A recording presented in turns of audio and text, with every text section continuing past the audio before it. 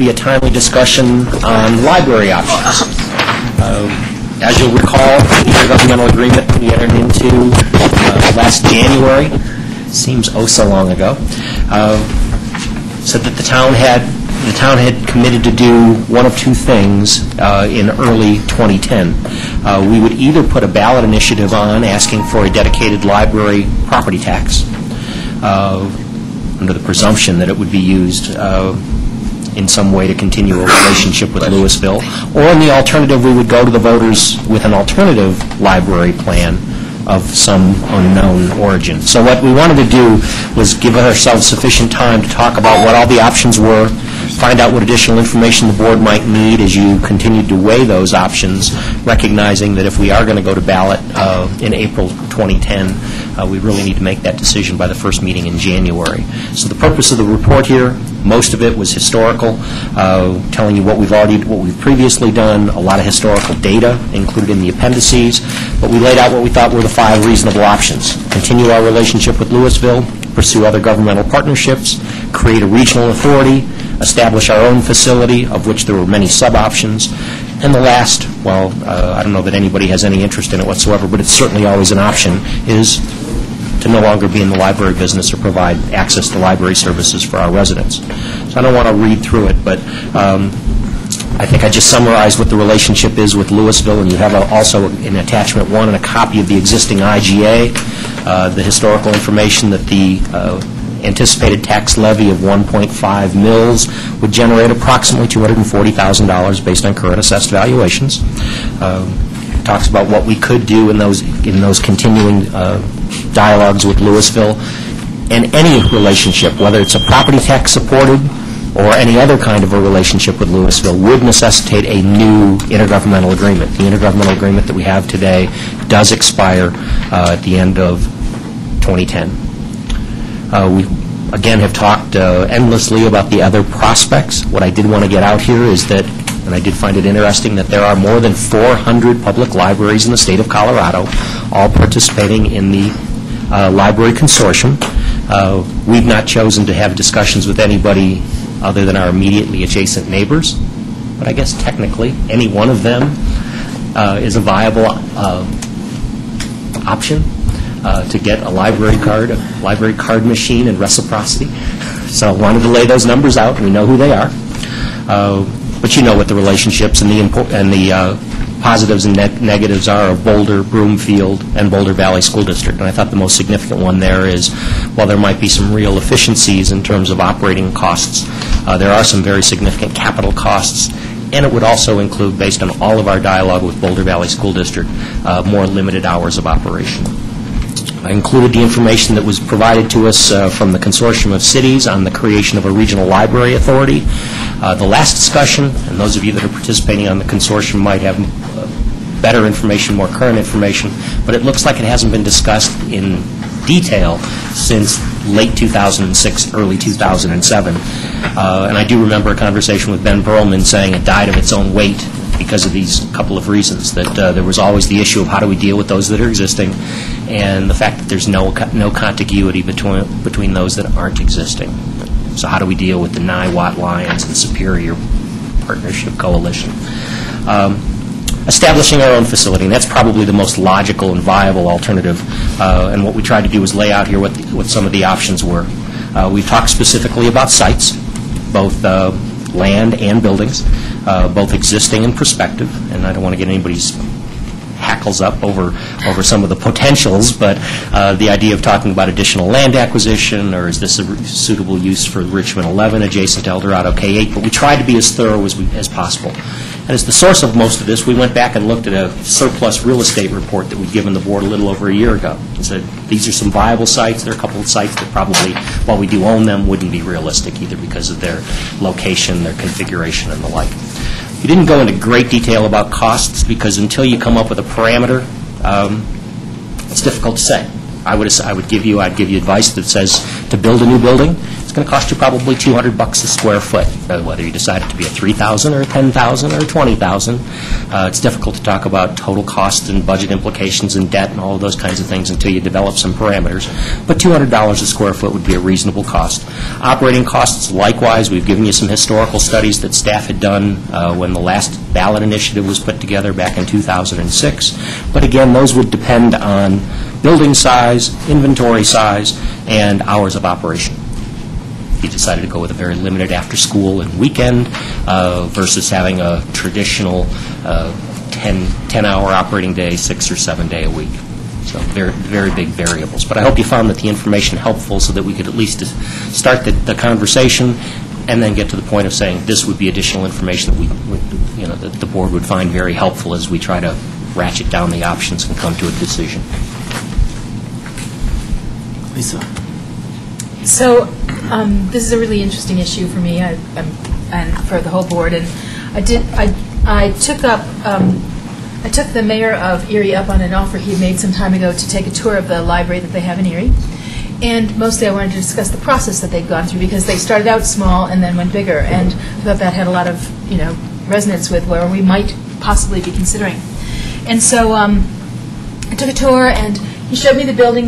The way they started out was they had, you know, some interested citizens, and they had a little plot of land, and um, in a residential neighborhood, and they went to um, and and some small business, some small pastaria or something, had a building they weren't going to use anymore, and so they moved the building onto this little plot of land, and then volunteers like you know respackle or whatever. Anyway, anyway, it's smaller than 2,000 square feet. I'm going to say it was more like 1,500 square feet. It was pretty small little house, sort of one floor um, type thing, and they put a children's library in there, along with some, um, you know, computer terminals.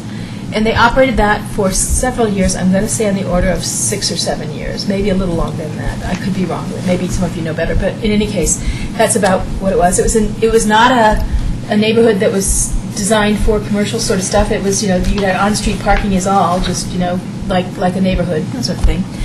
And um, that operated for several years and was very popular, and they had a lot of volunteers that were sort of staffing it. Um, They may have had a librarian as well, I've been trying to clarify that, but in any case, they- it was fairly straightforward. When they, they decided that they had something, I'm not going to say dissimilar to what we've got, in that they had, they were thinking about a library, but then they had a neighbor that was, like, had a library and was being a little bit stiff about how, how it was going to be used, and all that, you know, and all that sort of stuff, right? You know, it makes sense. So some similarities to where we're coming from. And um, they ultimately, uh, and they were able, and they had this, they had this thing, Weld County Library District. Well, Weld County Library District was meant to be in Weld County, and they, they had to go to the state, I think it was, to get, maybe um, Mayor Moore talked to you about this, the state or someplace to get some language to allow that library district to go outside of Weld County to cover the other half of Erie, which is now in Boulder County. That has some interesting option- options for us, because it's possible that if that library district is now called High Plains Library District, it's possible that that can extend to other places in Boulder County, like maybe us. Oh, maybe it doesn't have to be contiguous, it's not clear, and, and I haven't approached them about it, but that was something that the mayor and I talked about for, for a moment, and, and he said he would be willing to investigate it if we were at all interested. But given that Boulder County's library system is kind of not dead in the water, but a real hard start, because all the major players have already got their own individual little library systems and have very little to gain by sort of doing this. Um, maybe a way to st- a, a way to get into a library system that's more you know i- um, inclusive or whatever is is looking at this other option.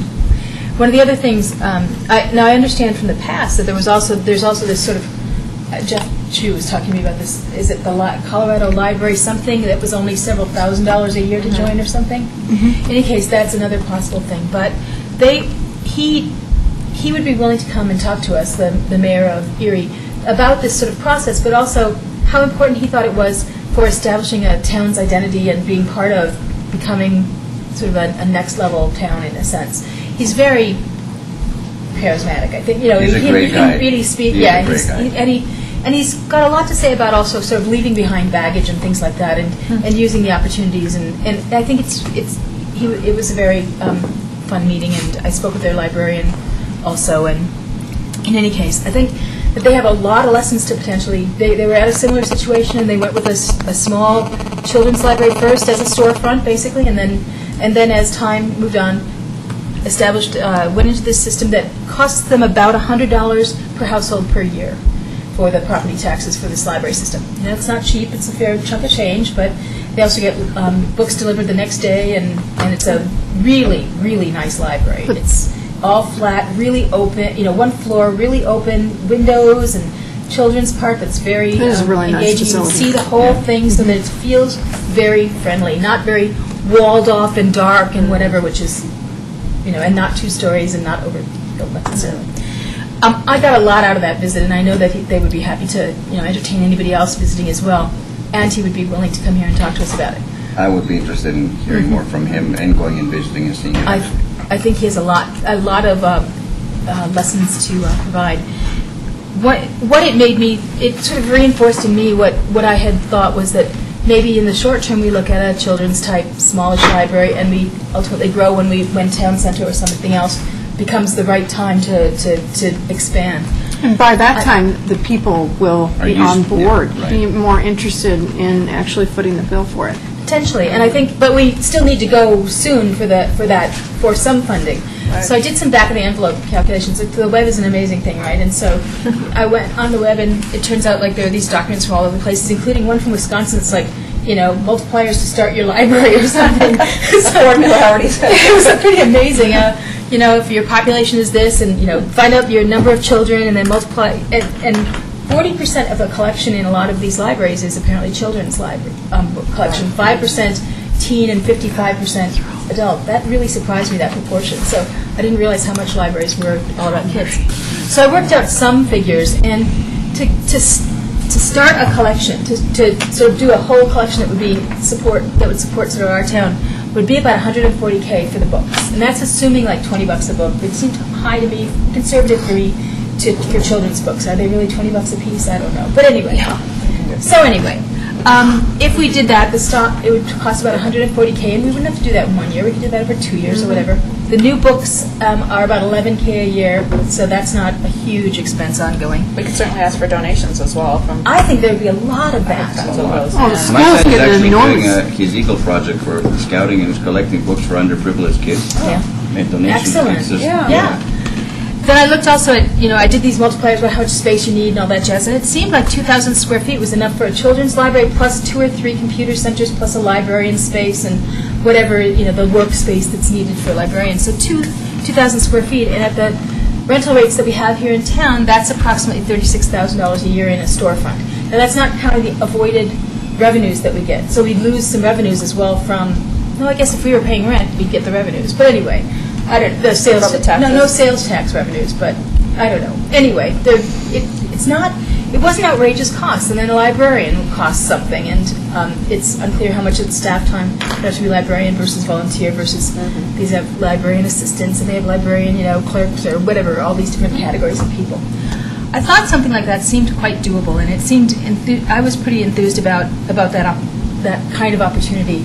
And going forward with maybe a, ba- and this, you know, not a done decision, but looking, investigating a, a ballot issue that would say, we're going to collect money for sort of a long-term library. In the short term, immediately we're going to establish a small library. That collection will move over to a new facility when, when that new facility gets, gets established, but that we start um, accumulating the funds we need to, to start a library um, soon.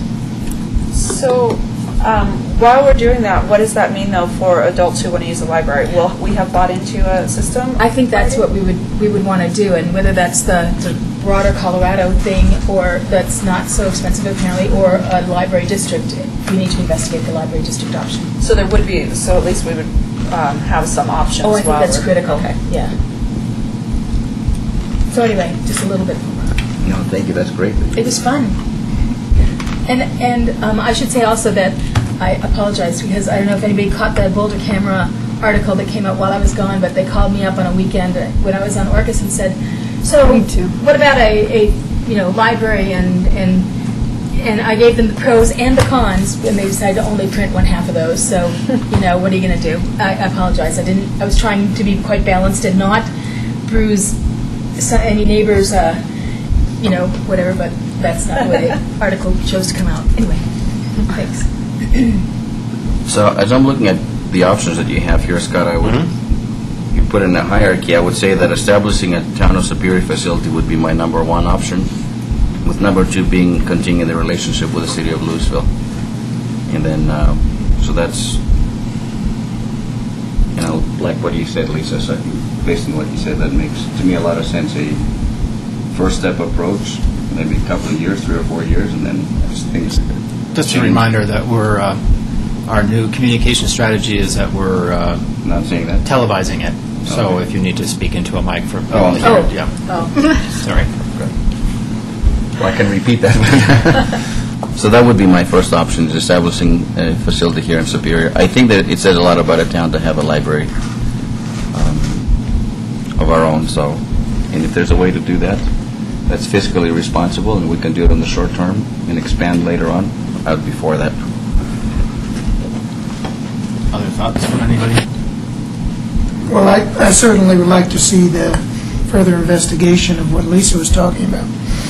Um, When we made our decision last year, or earlier this year, I guess it was, I think it was clear that our best choice for the most services was to continue a relationship with Louisville. That's sort of where my head's still at now, although I like to see Superior have its own li- library. I want to be convinced that we can present it in a, in a method that a a ballot would pass, and I wouldn't want to mess up our relationship with Louisville if, if it wasn't, a sh- look, didn't look very good to have that pass. Because I think what we get from Louisville for the price is still a very good option. And I should say that one of the reasons that I, that I like the idea of pursuing, I, I think Louisville is, is a good option right now, and I, but the price will change. Um, the, the one thing I like about having a children's library in town is I like the fact that children could walk to it, or could bike to it, or, you know, rollerblade, or whatever they do. And they can't do that in Louisville, Boulder, Broomfield, or any of the other um, options. That's a good point. Uh, So, I think I've said in the past that I, you know, love libraries. I love the- walking through the stacks, smelling the must, all that kind of stuff. I'm not convinced that libraries are in the future. Uh, You know, I read my New York Times recently where, you know, textbooks are going away because they're all going on the Kindle or whatever. Um, And so... But they can be deleted. But they can be deleted if you have uh, 1984. It's, it was very Orwellian. um, so, you know, the question is whether or not we would want to have a ca- big capital construction campaign to build a building, because eventually people are not going to want a storefront. Um, then to realize that everything's going to be electronic in the future, and then what are we going to do with the building? So I'm a little hesitant about that. I tend to agree that I think we get very good bang for our buck uh, cooperating with Louisville. It makes that library better as opposed to having two smaller libraries that potentially aren't as good. Uh, so um, I don't think that I've. I'm always open to new options, but I'm not sure that uh, changing from the Louisville option right now is um, makes sense. At least in my mind, I you know would love to hear more and understand these things more, but I'd, I'd be a little cautious about jumping whole whole cloth into a new adventure. I think it's important to have a gathering place. I know everything is electronic, but I was uh, reading an article last week about Panera's. Not that I'm going to promote any establishment here in Superior, and how they've been able to be more successful than any other restaurant chain in the United States when everybody's losing money right now because nobody's going out to eat. And besides the fact that they've had obviously fresh products, they have the bakery, I mean, they have a great variety of healthy foods Coffee. coffee, food, sweets, and so on. The primary reason for their success, according to their CEO, is that it has become a place, an establishment where people get together and they sit. For and they can meetings. and they can do for business meetings. Yeah. They can go there by themselves and they can have free access to the internet. They can just hang out, and that place doesn't exist. And there's quality of food, quality of service, and just a hanging out place. So, I, I still think there's a a need for people in the community to get together, and so I'm uh, I'm very interested in exploring your ideas. and for that reason alone, I, I know everything's going electronic, but there's still there's something about special about gathering together and reading and The question is whether, whether or not that would have to be a library or, or some other facility. Well, and I, and I think that's a, a real valid question, that- and the issue of whether or not a big library in the long term makes sense is always a, a question I don't, don't know, and I think that this is a, is a not, not jump there option necessarily. And it, it has some great opportunities for sort of drawing people to some places we want to draw them anyway, and where they're coming anyway, and all that sort of thing. So I think it provides some real bennies that way as well. So I, I would like to see explored. I'm assuming that um, we are, I'm going to take it for granted that we're going out to ballot in April for the property tax mill levy. Yes. General ed nod to that effect. Where that money is going to be uh, given to Louisville, at least for a while. Is it postulated that you would anticipate a bigger property tax mill levy to jumpstart a library here, or I think that's how do you what we see have that to, would- I think that's what we have to decide. If we're going to, if we're going to suggest the bond levy, the bond Mm-hmm. to go with Louisville, then that's one level. If we're going to suggest Right. it as something independent, that's a different level. Right. So I think that's the whole, There are the two whole different question. things. I think Yeah. we need to ask For both discussion. questions. And this, this is getting back to what my comment was of making our ballot question very clear so that we, people know what they're voting on and making a choice. Uh, So you thinking about two issues on the ballot? No, I think we, we're choosing what our, Choice. Okay. What we want the ballot issue to be, and making that clear. Wait a minute. I mean, if you made it two, I think that adds to confusion, I think it'd be hard. yeah. But I think we have to know what we're asking for and not just talk about, well, and, you know, we talked about it earlier, the, the the library services question without defining it. That didn't work. Yeah, Doesn't right. work. I agree. So I just Something want specific. to understand then, how would we do this if we're, um, we would only give one choice saying that we're looking to do something here in town and? If that's what our discussion comes to. I think it if our amounts to discussion comes what size mill levy we're going to ask for. And not ask whether people can rather continue using Louisville's? Well, we might have to explain the difference, I guess. Yeah, I don't know. I, I think I'd rather just put that um, on the ballot. I mean, I understand the point about it, it being too confusing, and we have to be very clear about it, but I, I think there's also, um, again, that whole sort of, if we say library in Superior, and they say no, does that mean then, then what do we assume? That that means that they don't want any library services, even with Louisville? Uh, So I think we need to make sure that we allow, allow the option that library services in town or library services continue with Louisville. I think it's important to.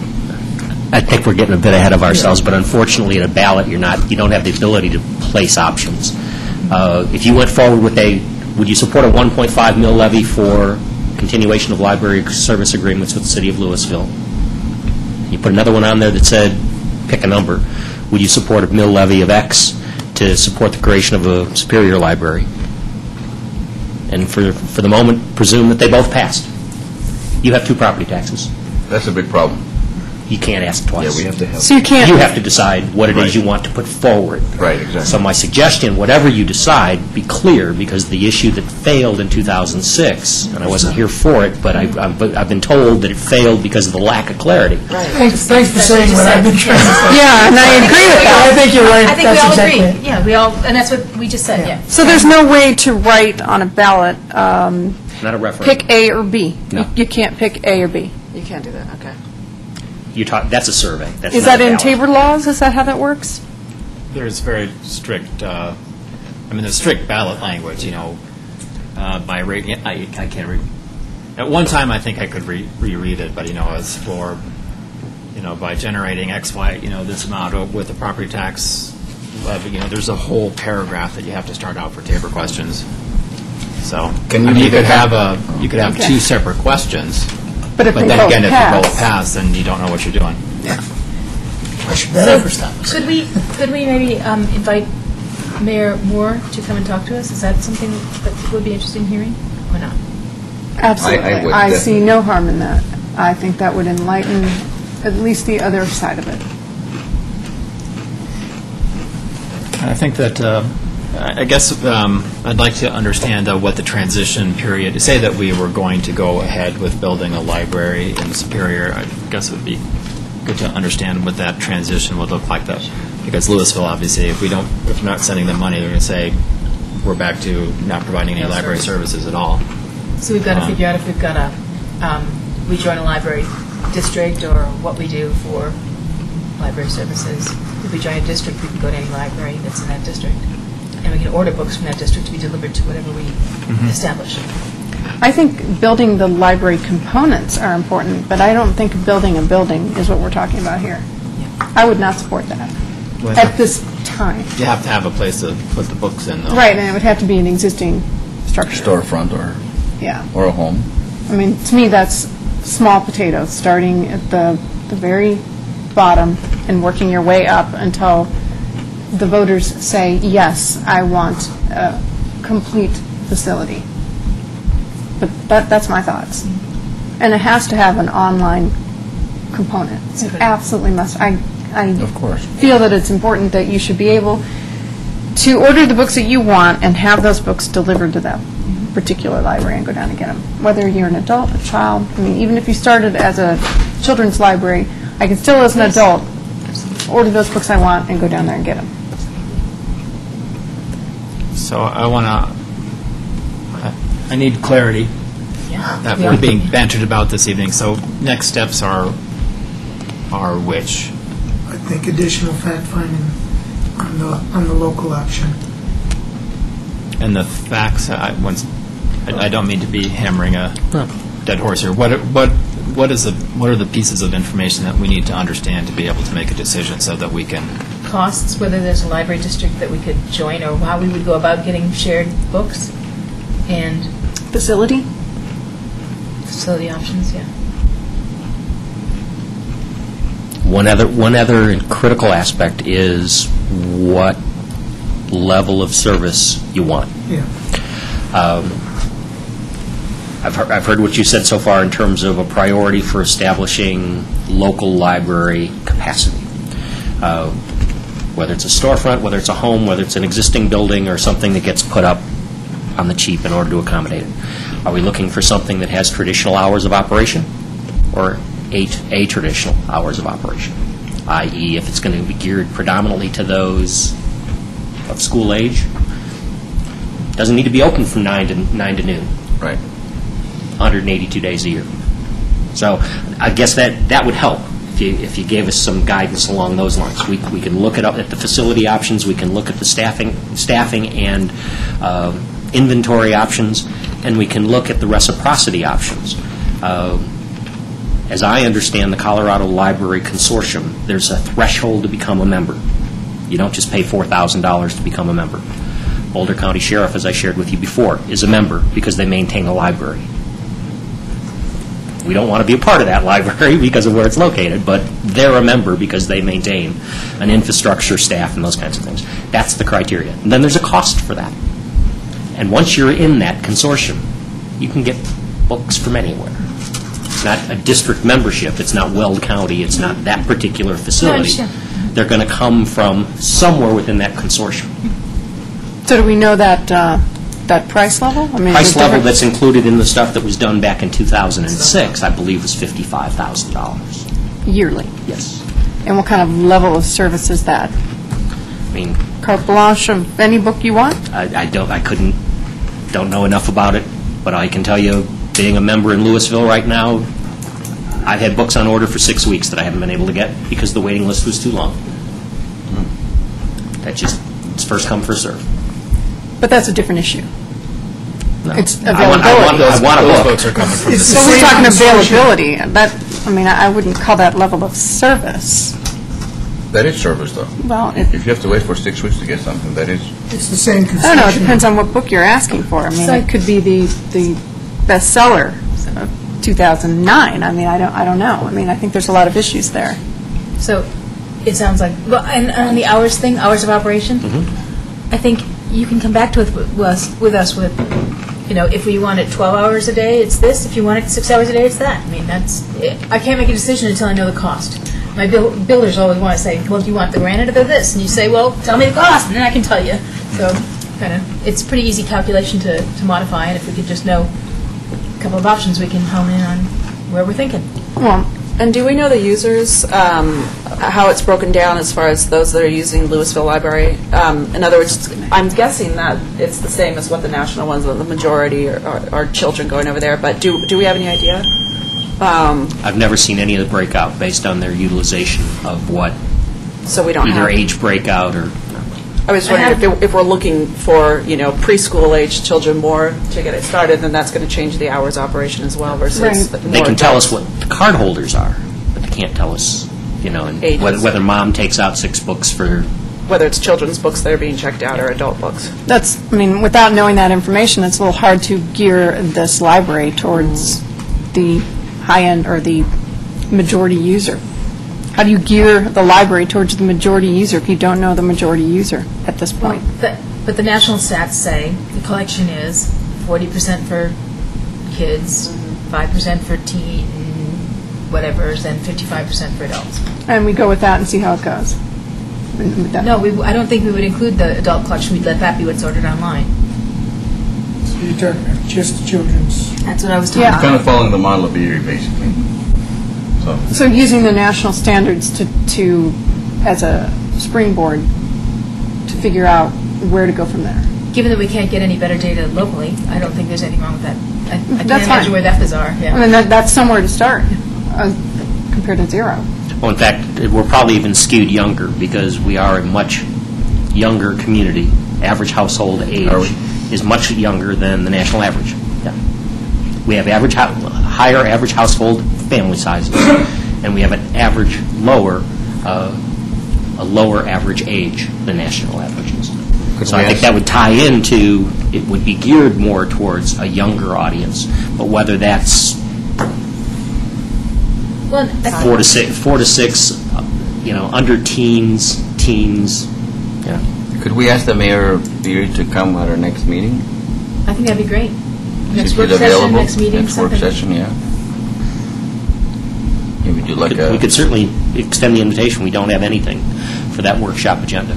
let's do it. I would like that. Sounds great. Okay. What other information would you like to see? Would you like to see a couple of pro forma on uh, some operating assumptions? Yes. Mhm. yeah, uh, one in particular that, I mean, I think there's, there's a certain level of staffing you can't go below. And like, I wouldn't encourage you, as an example, to rely upon volunteers to operate a library. I'm thinking you need to have probably 1.5 FTEs, but, uh, for any kind of operation. But if you, if you- you can figure out a way to do it on a children's library, just open in the daytime, one FTE, I- that gives you no slack at all if that person's sick or anything. Will your research include um, different um, structures as options? I don't know, you've got in here uh, Coal Creek Firehouse? Is that, did I have that right? I was lis- listing through the litany of surplus property, real estate, and structures that we have. Okay. Um, And as far as that, um, and I'm guessing that, say, a home that's, um, I don't know, in foreclosure right now, we can't put this in um, based on um, zoning in a in a residential neighborhood, or or would that be HOA regulations that say we can't do that? What would be, HOA wouldn't Might not be prevent the able to. town No, from doing agreed. Scott, are you something. kidding? What about original town? Our zoning isn't more of an issue. I mean, Maybe. I think any resident would have a right to complain if the town decided to put a library next to their house with all the parking and Oh, yeah. everything else. What about back here or over there? Can you, Well, that's- We've got a can you give me the That's status of the house. Coal Creek Fire Station? What, It is currently used by Rocky Mountain Fire Protection District. They pay us rent for the ability to store equipment there. It is also used by our Parks and Rec Department, uh, both for storage as well as operations of the field crews. But the field crews account, represent three people, so it's not insurmountable. That's why I placed it down here as an option. Likewise, I mean, conceivably, if you said we wanted to start quick and and as inexpensively as possible, uh, I think we'd even had some discussion and said, what would it equate, what would it cost to equip this room as a study cartel and stacks? You know, and whether this space is 800 square feet, I think I might have said 2,000 at the last, but whatever it is, you know, what would it cost to to, to convert this, uh, this space into something that was more publicly accessible. I mean, or what would it take to do a 2,400 square foot vacancy at Superior Marketplace, or a 2,400 square foot prospective vacancy at Rock Creek Village? Uh, I've heard comments about accessibility. Candidly, I don't know that Superior Marketplace would be the most convenient place for youngsters to be getting in and out of. And I priced the, the Safeway Park, um, that one, that shopping mall. Unfortunately, after today, with the new Rock Creek Pizza opening, there aren't any vacancies. I was just going to ask what's the availability right now, nothing. Zero. Today, zero. In some ways, that's good, obviously, yeah. I but- think Unleashed is open, that's what I saw Um, online. Isn't Unleashed leaving? There? We've heard that they were being wooed to move to Lew- to Louisville. If you look online, it's there. They had a, They're operating They are. today. they had a for lease sign out there or something. But um, as far as locations, the um, Eldorado, next to Eldorado, that property, the um, School site. Park. school site, Move Richmond 11, Historic right. Park. that, that's a possibility though, right? I mean, as far as a town intergovernmental agreement and everything else, Building something. I mean, if we were to build a structure, we could, that certainly would was one of the ones that was listed here, certainly. Okay. That could be expensive. And that's listed as well. Oh, right, I agree, it'd be expensive, but I'm just saying, as far as locations. So to Two sort of rip up, pro- two pro forma for operations and an invitation to the mayor of Erie to attend the meeting in two weeks. whether or not there's a, whether or not there's a consortium, I mean, a library district. That we would can want join. us. As I said, there's 400 of them, but But, no, it's a different question, Not- though. Yeah, I mean, I I don't But want, they need- that's- I don't want to do part of something the crazy, decision. right? Yeah. It doesn't make any sense. I mean, what we the to what the criteria is for participation in a consortium, Something. which gives us reciprocity. Yeah. So that we don't have to have an inventory that consists of all things for all people on day one. I guess I'd have some concern about, you know, uh, talking to Grand Junction about whether or not we want to join their library district. It just doesn't seem like that's a fair thing to do. We need to do something that it was, falls within the realm of reason, which, But the Erie something in the is- front range, so. You very much so, yeah. We had talked during our negotiations with, uh, with Louisville that the prospect of going to a place like Central City or Black Hawk, which both have libraries, and saying, what what will it cost us to get a library card machine that is good for any library anywhere within the state? And it probably wouldn't be the 115,000 we're paying this year. But you're right, there's an equity issue, there's a, I mean, because they're going to, you know, at at the end of the day, unless the building is big enough that people want to go and sit at, we don't, they're probably not going to sit for a whole long time over in the marketplace. They're still going to go over to Louisville, right, to use that building, probably. And does it make sense for us to say, well, you know, and, and, and, and, and, uh, you know, we're going someplace else and tough noogie to you, and we're going to use your building? I, you know, I have a little bit of concern about that, so. I think the equity issue is not just a minor component that we need to think about, unless we're going to provide services here that are the level of services that we're talking about, which I think is going to be more than 1.5 mils realistically, generating 240, I mean, because that's not going to build any building.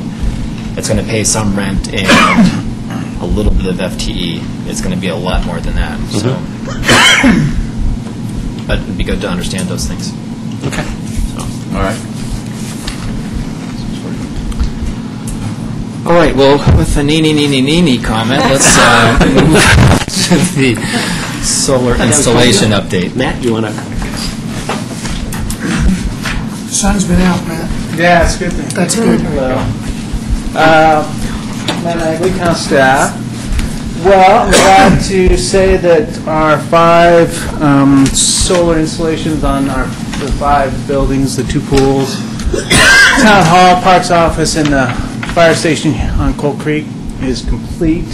Um, Wrapping up some minor things with those five systems, including the um, monitoring system and uh, some Xcel rebate paperwork that we have to fill out and get completed.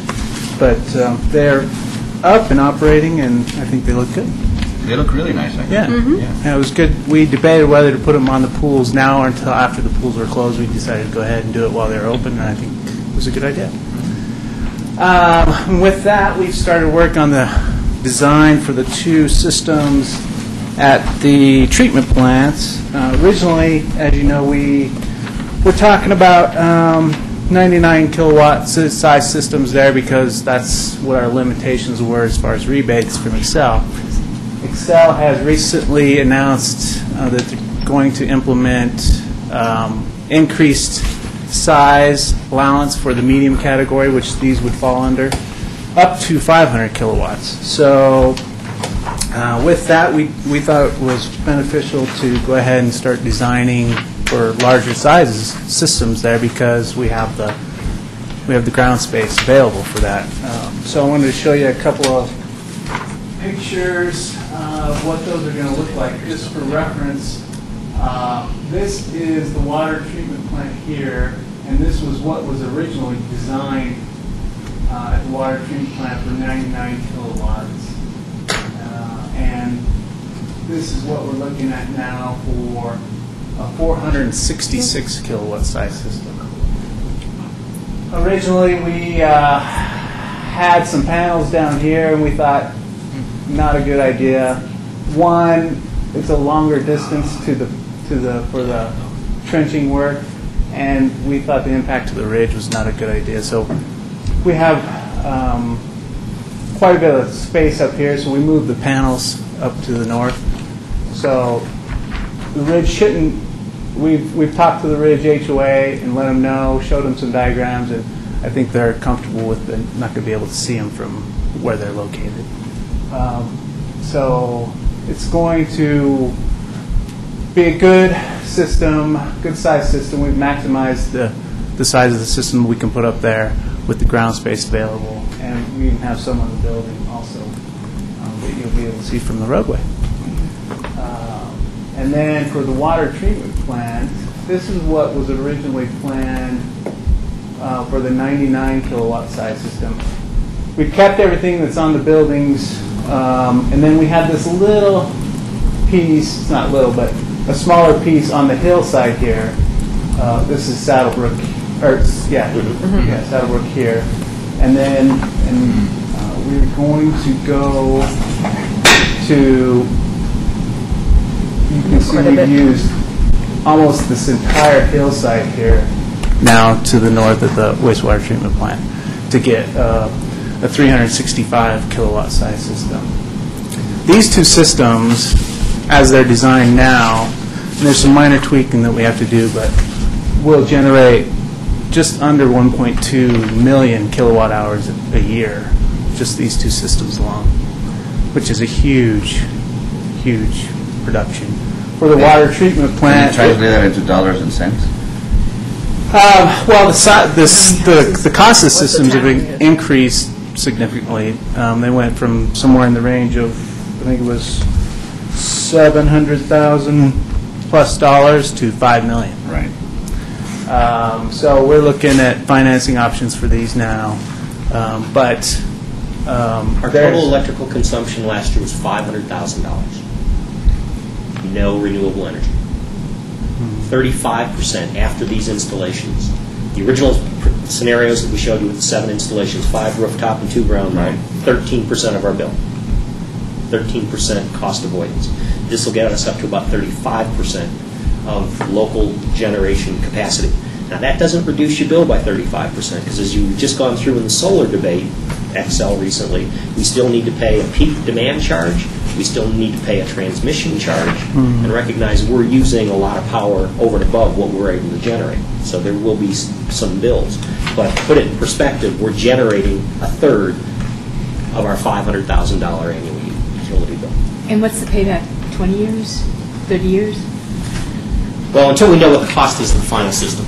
Oh. We're not proposing that we invest $5 million in, in ground-mounted solar. We're exploring the other alternatives, which include third-party purchase agreements, um, a number of alternatives, because we, we don't have the wherewithal, and candidly, no, a $5 million investment on a, even on a $500,000 or $300,000 annual return would be almost a 20-year payback. It doesn't make sense to do it on an economic model.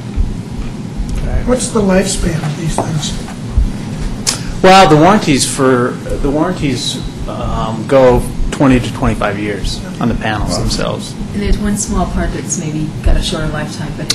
Yeah, it's the, uh, the converters. The plug. Right, they, and those have a 10-year warranty, and, um, so, but uh, on a third-party financing, all the maintenance cost is with that company. So we buy the the power that the panels produce at a set cost uh, with a set uh, accelerator uh, for whatever number of years we decide.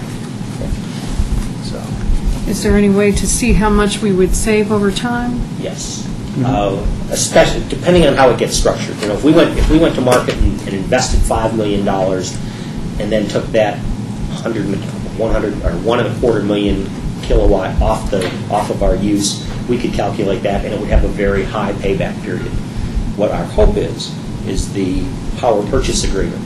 Right now, if we're paying seven and a half cents a kilowatt hour for conventional power through Xcel, and through this power purchase agreement, whatever we generate, we buy from our third-party purchaser for, and for discussion's sake, let's say five cents a kilowatt hour. We can calculate very easy what those savings are. We're still buying the rest conventionally. Um, But the third-party pur- purchase agent gets the benefit of all the tax credits, which we don't get. They obviously get the Xcel credits. We don't get, we don't pay taxes, so we don't get it. The benefit of the tax credit doesn't benefit a municipality. So that's, the- that's why these things have been structured as such. All of this has to come back. Matt's been doing yeoman's job negotiating this with uh, the preferred uh, provider at this point, assuming we can come up with a satisfactory agreement. What was your target, October? To come forward with all of that. Uh, But I would say, on on the front, it wouldn't make sense for, from- from an economic model, it wouldn't make sense for us to incur this investment. Your payback's going to be 20-plus years. 37 more like. And you're, you know, one, the benefit here is you're buying your electricity from a renewable energy source. Right. Which Which is, is, right. Um, I One of our goals. I do have a question on, um, as far, you were talking about um, government um, discounts with um, taxes, but what about, are there any um, upfront type of programs, federal or state? Uh, so there's the stimulus money out there. Yeah. Um, The state has $9 million that's available for small local governments and nonprofits. Oh, They've only made $525,000 available for these types of projects. Um, So uh, that's out there, and we would only get a percentage of that.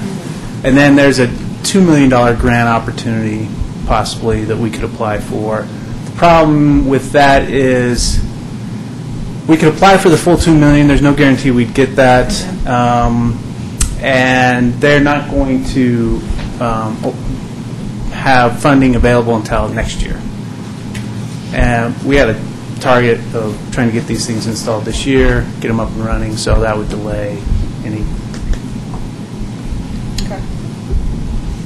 We've even, because we were so disappointed, we've been waiting for the last couple of months for the Governor's Energy Office to announce their grant program. First of September, they announced the program, that's when we found out that there's only nine and a half million that was available through this discretionary pool. It was going to be divided up six different ways. The first ini- announcement said that municipalities within entitlement counties are not eligible. Boulder County is an entitlement county, so therefore municipalities would not be eligible. We appealed that, they changed the rules, we're at least eligible to apply now, but I mean, it's nothing for the scale of, of, of this magnitude. In fact, we've recently had discussions, as recently as today, with uh, the governor's office and Sam Mamet at CML about going directly to Washington through to the congressional delegation and the vice president who's heading up the stimulus funds and saying, this is exactly what you wanted to see. Right. Let us be one of your demonstration Because don't, I mean, don't some of these things need to get used, and if nobody else is ready, I mean, we are, well, I don't know if you can use the term shovel-ready on this type of project. but- they, they made the Yeah. largest Yeah. portion of that 9 million available to commercial and residential property owners, and then retrofitting on the western slope. I mean, When we saw how this, how the nine and a half million dollars was being divvied up and targeted away from metropolitan areas, um, it was discouraging. Is there, is this type of um, system and project possible to work up to it? Over time? Or does it have to be now or not at all? Can you install part of it, you mean? Can can Uh, work well, up to the final goal? The third-party financing, uh, they, well, you, you can't, you're not able to get third-party financiers involved until it hits a certain s- dollar amount to make it worth their while. So uh, initially, when we were looking at the two 99 KW, we couldn't get anybody interested. Now that we're at this scale, w- we're able to third-party finance it if we want to. Um, Is there somewhere in between, though? Not yeah, yeah. I mean, but originally we some talked level. about um, installing the two 99 kW systems, and then over time increasing the size at the sites.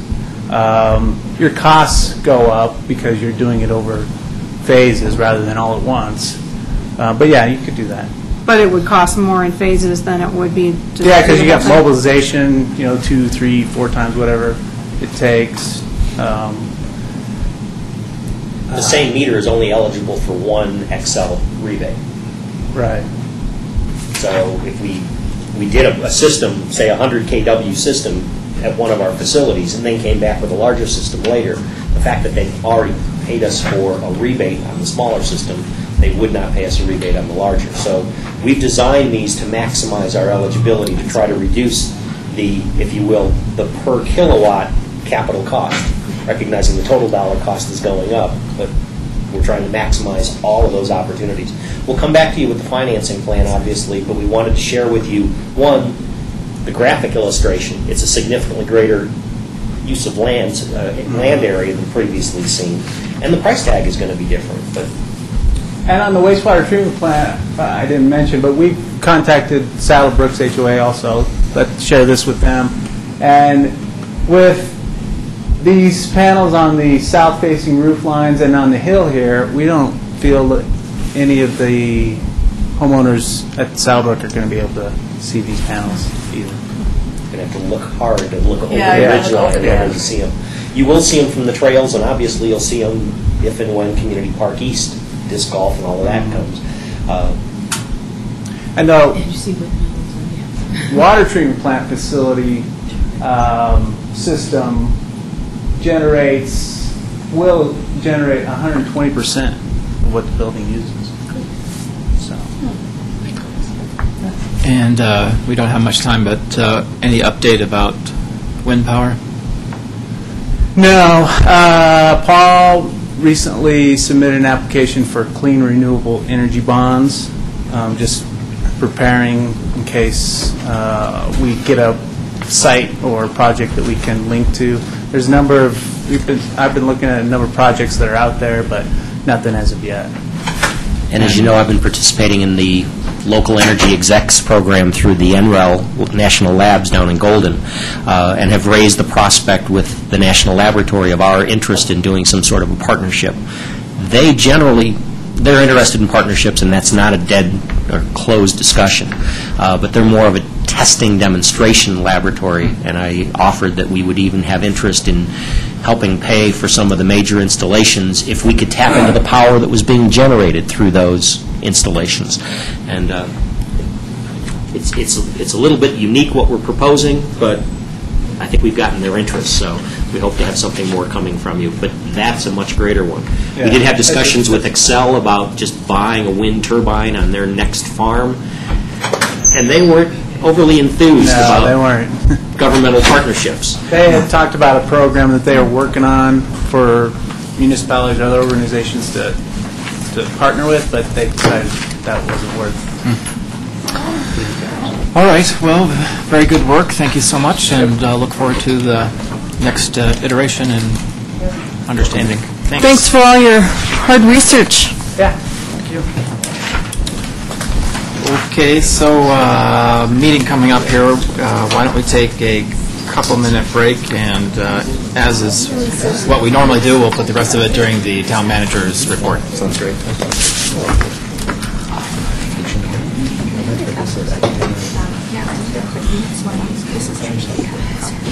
Definitely the problem. Yeah.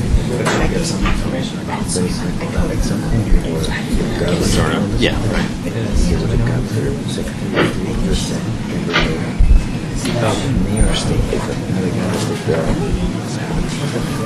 Okay. All right.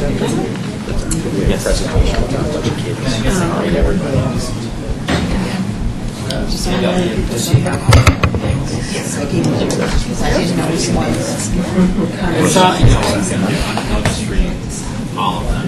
Folder. Be here, so you can hand out. Yeah. And, and they said that during those four or five years, four years, then sanity was restored.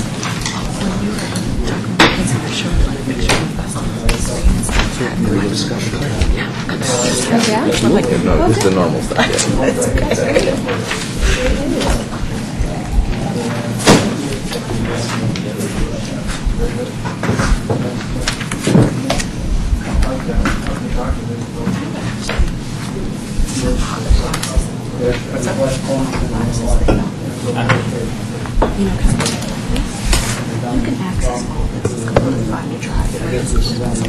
And I think You can drive it right across the park. Yeah. So, just when you enter here, Yeah. you have access on That's correct. So it doesn't matter, doesn't matter. You know. We need to talk about, you know, we need to talk about what we're going to do with alleys in general later on, but clearly they can, people are accessing it at the moment. Yeah.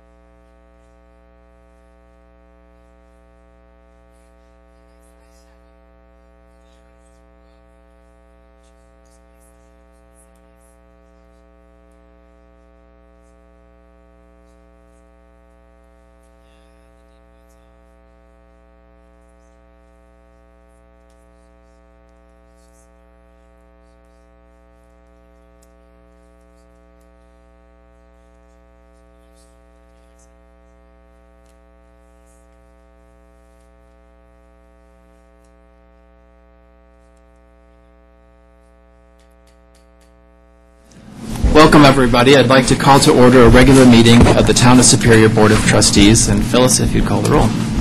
Sure. Uh, Mayor Andrew Muckle, Here. Mayor Pro Tem Lisa Skumatz. Here. Trustees Joe Sorelli. Here. Dana D'Souza. Here. Delia Gregoris. Here. Eric Rosenfeld. Deborah Williams. Here. Town Manager Scott Randall. Here. Town Attorney Kendra Carberry. Here. Town Clerk Phyllis Harden here. Trustee Rosenfeld sends his regrets that he has a work conflict. Uh, Item number three, approval of the agenda. Are there any changes to tonight's agenda? I can ask questions, though, correct? Mm-hmm. Okay. Okay. Seeing none, I'll entertain a motion to approve the agenda. Motion by trustee Gregoris, second by trustee D'Souza. All in favor? Further discussion, all in favor? Unanimous, thank you. Item number four, presentations, and tonight we uh, have proclamations for the Boulder County Youth Corps, which is very exciting, and Director Dominguez, if you would give us some information. Juanita Dominguez, Director of Parks, Recreation, and Open Space. Uh, Each year, we have uh, one crew from the Boulder County Youth Corps help us out with various items such as uh, trail uh, improvements, uh, trail development, and uh, painting, and of course, weed control. Um, This year, we had a- a a full group. Um, They had, they had their challenges this year, coming down with the flu, um, losing about a week's work. Um, A couple of kids were out a cou- a couple of days. Um, However, they were able to uh, accomplish quite a bit.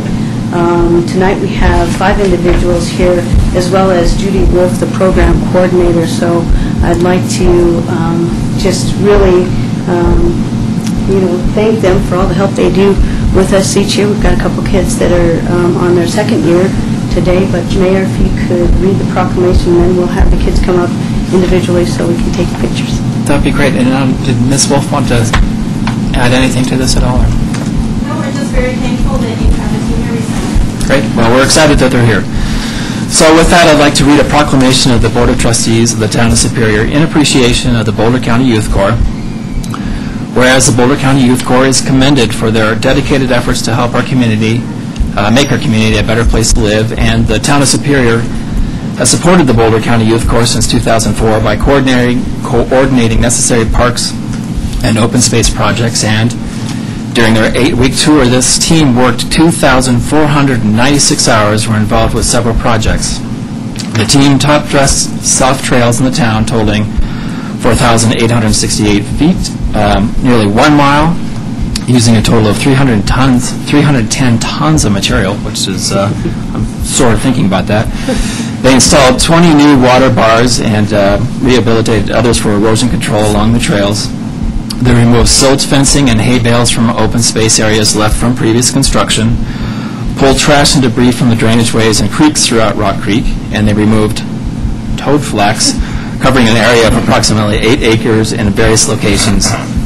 They repainted shelters, handrails, and bike racks over 1,200 feet of fence, and therefore, I, Andrew Muckle, Mayor of the Town of Superior, and the Board of Trustees do hereby proclaim its appreciation to the Boulder County Youth Corps for their significant uh, contribution to the community, in particular for, so I'm going to, uh, I can do it. you want to do that? Okay. Because I was getting ready to butcher a whole bunch of names, and I was going to apologize.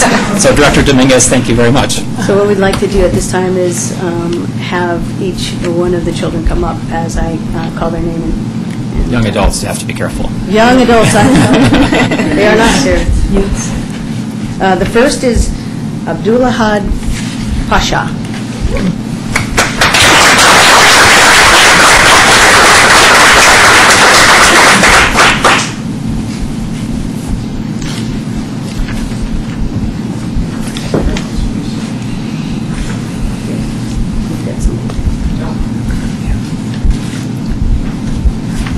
Second is Christopher Gray.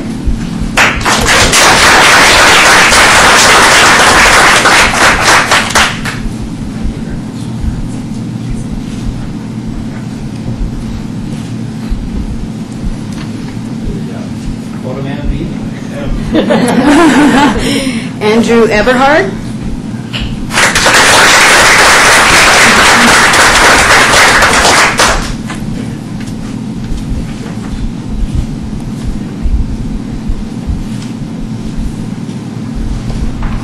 Christian Valentine.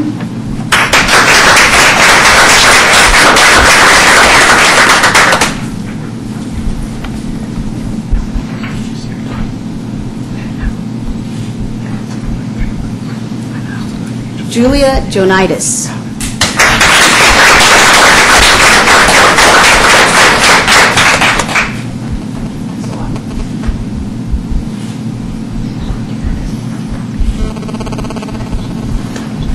And Rashana Henderson.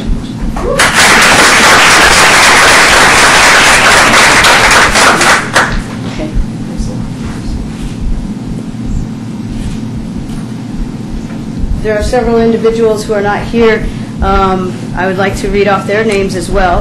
Uh, Daniel Stechman, Katie Olivas, Yulia Levertova, Patricia Seward, Eric Lutz, and that's it. But if we can have everybody come up here real quick and have one group picture, that would be...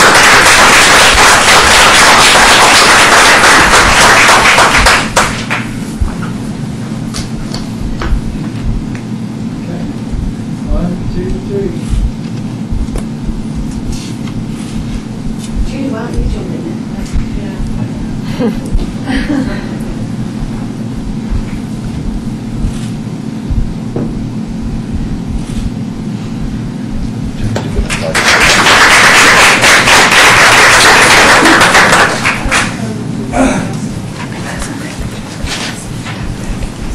All that groundling move, I'm glad they were gentle with you, Mayor. What's that? Yeah, exactly. Thanks very much. I mean, it's really, uh, you know, people worry about how the future is going to be, and if they're in our young youth's hands here, I think that we're pretty confident about how that's going to be. So thanks very much, and we really appreciate it. Uh, Let's see. So with that, we need to move to item number five, which is public comment on consent agenda and non-agenda items. Thanks again. Thank you.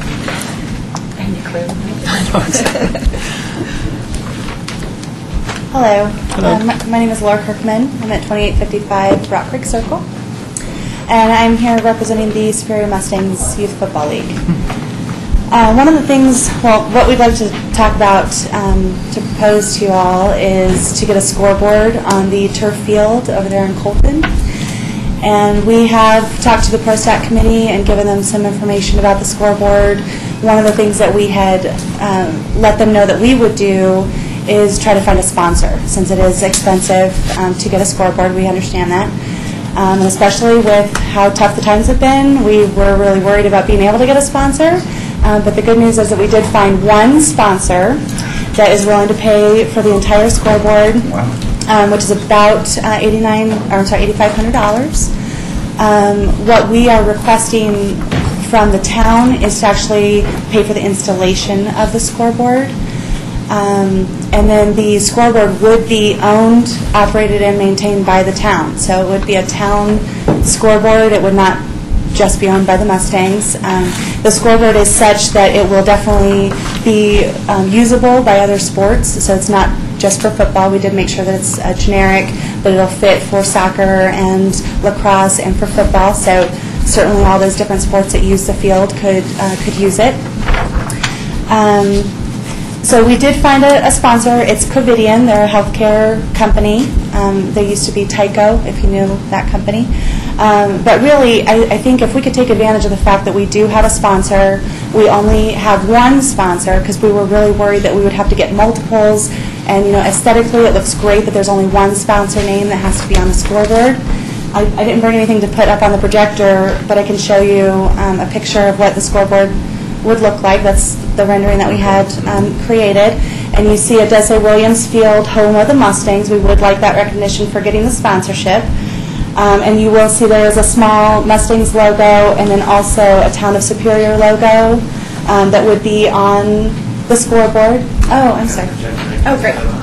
Thank you. That would be wonderful. Um, And then you'll see at the bottom, uh, the length of the scoreboard is filled with, uh, for Covidien specifically, it has their logo um, and name on it. Thank you so much. What is the cost for the installation? Do you know? Do you Um, What we were looking at is it's about five to seven thousand dollars from what we saw.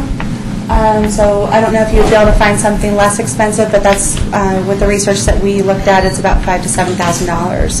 Um, I think most of that is the electrical that would need to go in, because what we're proposing is to put the scoreboard on the north side of the field, which would then face the parking lot. Um, And the size of the lights, uh, what we have been told is that it would only be be clearly seen from the first row of the, of the parking lot and in. So it wouldn't, wouldn't be that bright to be outside of that area. Um, The scoreboard's about 16 feet high, so it would be, on we would like it on the north, north side of the field, so that everyone in the field could see it. And then it would actually have, what we looked at with the price is to have two wireless controllers, one that we would like to keep um, on the field in the shed, locked up, um, that the Mustangs can uh, have the key to that, and then also to give one uh, that the town would, would store. So you're talking about um, putting it on the very north end of the field, how, It would be on the corner, so it wouldn't be um, in back of the end zone. the end And actually, I can do this, Harry, just to show you. I don't know if you can see this because it's really small. But Here's the football field, and it would be about right here, facing diagonal towards the south end. and how would that impact the homes that are right there? Do you know? Um, It's shorter than, we did talk about it in the ProStac committee, I believe. Um, It is shorter than the other lights that are there. Um, And it would, the back of it would be, would be facing the homes, so they wouldn't have any additional lights going towards the homes. It would be the opposite direction. Okay, would it block any of their view of any of the Um. Because it's a little bit slanted, I don't think that it would too much. I mean, there may, you know, they're, they're going to see the scoreboard a little bit, uh, but um, I think even the trees are are taller than what you would see. Uh, So I don't really know that you could see the scoreboard very easily through the trees. Trustee D'Souza? And um, do you have any idea of what the maintenance costs, the operational costs of that would be Uh, No, I annually, don't. or? um, I think just paying for the electrical, and then I guess if anything was to, was to need maintenance, but no, I don't know. I, I could definitely tell you who our, um, I have the information here about who the um, person, the company is that does the scoreboard, so, you know, we could find out for you if you want what the average maintenance would be. I was just wondering if there's a service that you have to purchase for maintenance or any type of thing like that, or is it just? it would Uh, We be did the not see that in our research with them. Okay. Other questions or comments? Uh, My comment is, that, well, anybody from ProStac who would like to make a comment? Jim Payne, 2475 Clayton Circle, I'm the ProStac Chair. Uh, Just to remind the Board, uh, this has come before you before. It was actually in our uh, 2000, in our budget approved in 2009 using CTF, um, Conservation Trust Fund money. Uh, So some was put aside to, to match this, to do exactly what they're proposing. And um, we also gave you a heads up about this about two months ago, I think, so uh, if it sounds familiar, it's exactly what we've been working on. And We Great. support it. I do have a question. What is the time frame we're looking at? They're, the reason they're here tonight is so we can move forward and get it in place for this season. That's, that's why they're here, otherwise it wouldn't even be in the public comment, but they wanted to, couldn't wait till next meeting, We'd like to move forward, so they were asked to come and make public comment tonight. The first game is end of August. So we're aware that it may not be up by the first game, but we would like it for the majority of the season, if possible. And it, it does take two weeks to order the actual. Other comments or questions? Trustee Skumatz? Does, so you're saying this doesn't go through staff to us? You, you, you want us to vote on it based on the um, public comment period? I don't think so. So, Okay. let let me just make some comments. So, the answer to that one is no, we can't uh, Yeah. vote on that tonight I without was having a report, so, What what you just said about. We just want to get it on the table yeah. Can can I- right now. The, you, the board had asked, um, some of you weren't here, so if some of you don't remember it, I I know it was a full meeting, um, had asked that you wanted to see the design when it was ready to go. Um, I don't know if there are any other approvals that are necessary, but that was the board's request. So that's why we, it was felt necessary to come back and show this to you. Okay. So my comments are, I think it's a great idea. I think it'd be a nice addition to the field. Um, I- You know, it's, uh, it's good for the community, uh, and multiple sports can use it. It's great that Covidien is stepping up, and they've been a very good partner in our community for many different reasons, and it's nice to see that they're doing this as well. Uh, You know, the board would need to know the real costs up front, uh, so we probably have to, well, I'll leave this to staff to do whatever you think is appropriate. I assume our engineers would have to look at this, and we'd have to understand what the wiring would be, and understanding what the real cost would be. It would be very beneficial to have some sort of uh, general photo sim of what it would look like from the south part of the field. I think that would give people a lot of comfort level. I think the trees are much higher than that's what's anticipated for the scoreboard, and the lights for sure are a whole bunch taller, so I I don't think it would really be seen by anybody. Um, So I'm going to give general staff direction unless I have some big naysayers uh, to work on this and expedite it as much as possible, understanding that staff has other things on their plate, and, you know, we can't commit to any particular timeline. We'd love to see it, love to see it up tomorrow if it would work, but that's clearly not going to happen, so, um, Mr. Randall, you know, you can either tell us whether or not you think that's going to be within two weeks or a month, but uh, you don't have to make that decision tonight.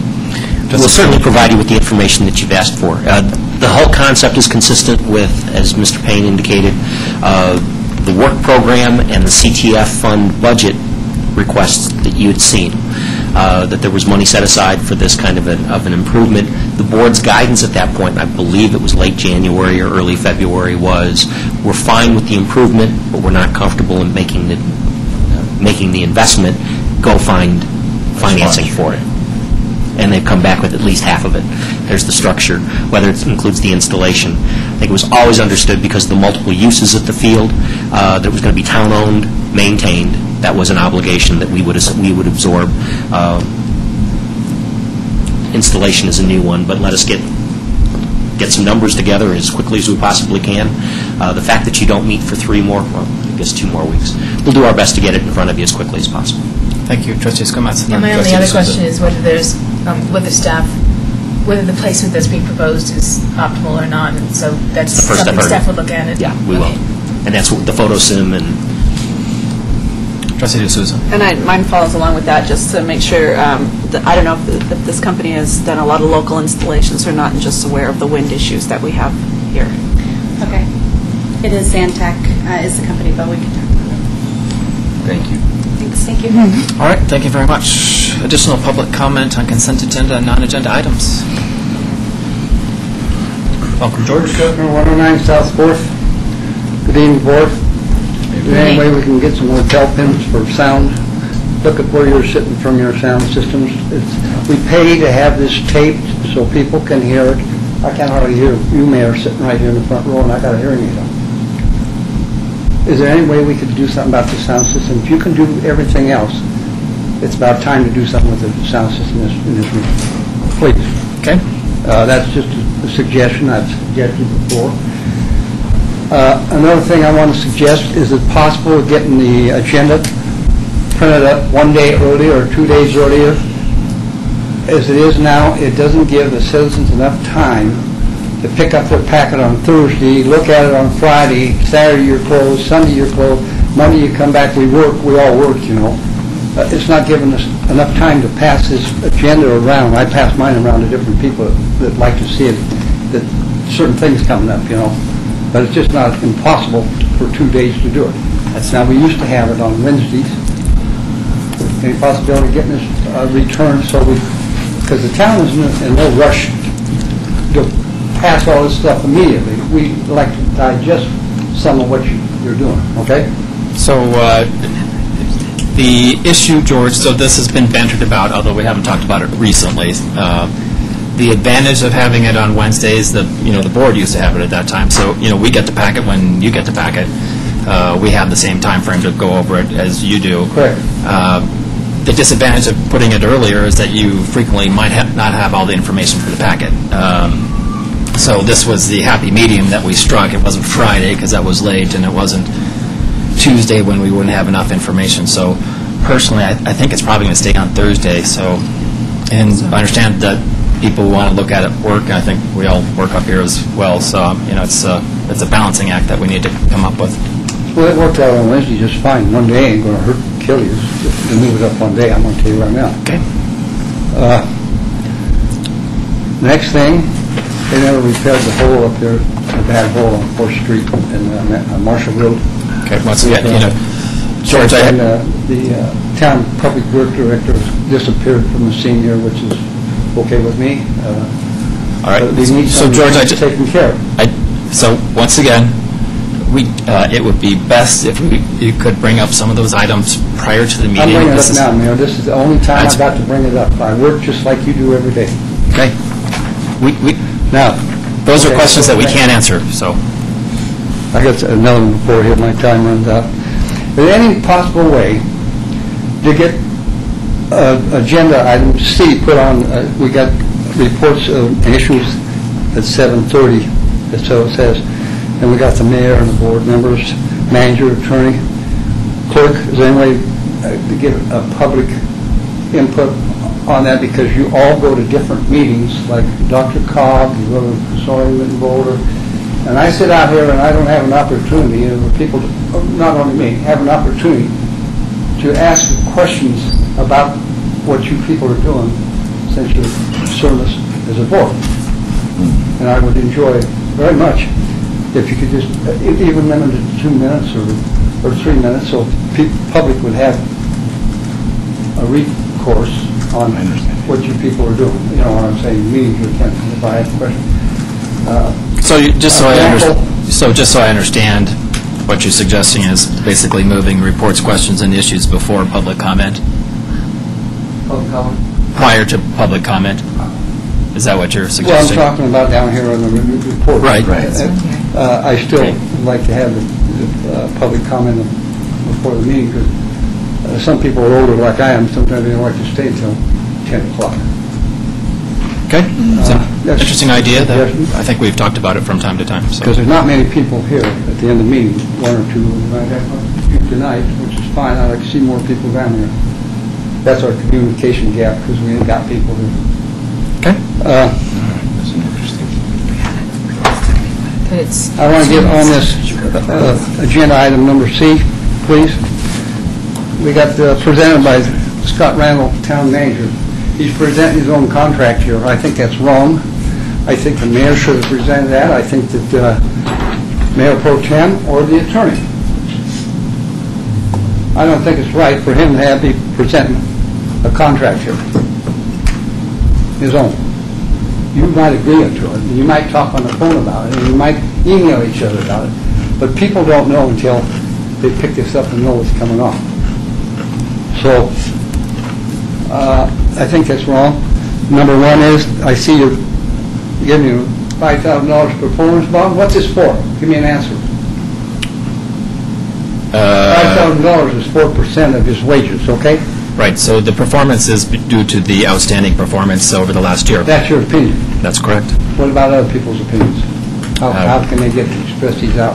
And you know what my opinion is. And you Yes, I do. come back, no, wait a minute. That the- uh, all of it. You come back and give him, there's another two percent? From fifteen to seventeen, that's six percent increase right there. Man, with the economy the way it is, six percent plus fifteen hundred dollar fee for his uh, other deal back here. That's, that's not right, people. Okay. Let people have some say-so in this town. That, that's why we're citizens, citizens here, and that's why we live here. It's so we can have some input in this town. Not, not, we're not doing town business down here, just town. I'm telling you right now, we're doing it other meetings. said, don't look like that. You all. I don't- I don't understand I understand what you're talking You all know about. these things before it ever gets here. Okay. All right, George? Yeah, just, let me see if I had anything else, just about done here. I don't know, Since I uh, don't you attend these understand what I'm meetings. talking about there. Uh, Are we planning on putting in the budget anything about doing anything with Coal Creek Drive? It's like a washboard. It's been terrible since the day you put it in and approved it, and and you're one of them, and I can name a few more. Drive it sometime in the daytime, like I do every day, two or three times. I do go to Conoco, get paper and coke, whatever. Drive it. I do. I think all of us do. We do. It needs resurfaced, just like they did in Rock Creek. Okay. Done right. And I do enjoy your bike trail down on the south end of town and your walking path, 20, 30 feet. From from Douglas to uh, Marcus Drive, which is a railroad track. Okay. That's what it's made for. All right. Thank you.